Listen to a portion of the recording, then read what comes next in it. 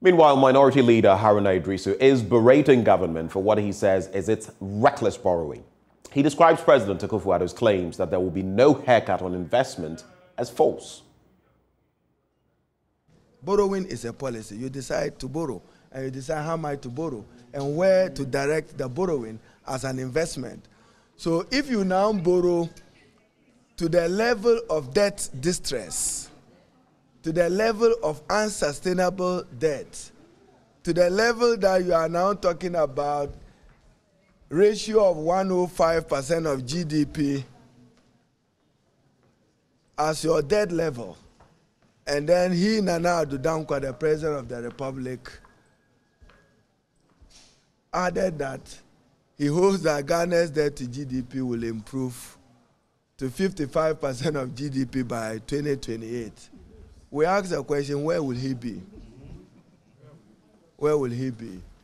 Even though we are not convinced that he can even manage this with any superior debt uh, strategy, as was done by John Dramani Mahama and the NDC. You all recall his State of the Nation address, the first of his in 2017. He said 120 billion was colossal. So to mark his words, 450 billion borrowing is not colossal. He also said that, and the ladies and gentlemen of the media, mark my words here. President Nana Addo Dankwa, in his attempt to rebut President John Dramani Mahama and our ranking member, the Honorable Forson, on debt and its management and sustainability, dismissed the argument of a haircut. He was categorical that there will be no haircut. We are assuring the people of Ghana, we are assuring investors, people with savings, people with investment in instruments, that there will be a barber of a sort. Probably that barber will be Scampi Dede Barber.